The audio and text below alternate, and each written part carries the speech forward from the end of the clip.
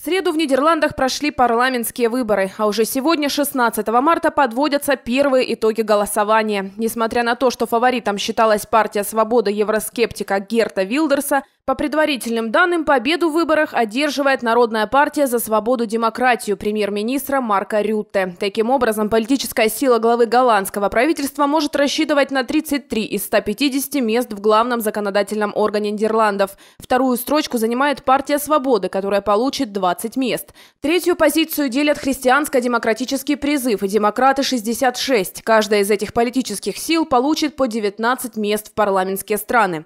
Марк Рюте, комментируя предварительные результаты выборов, отметил, что после Трампа и Брексита Нидерланды сказали «стоп» неприемлемому популизму.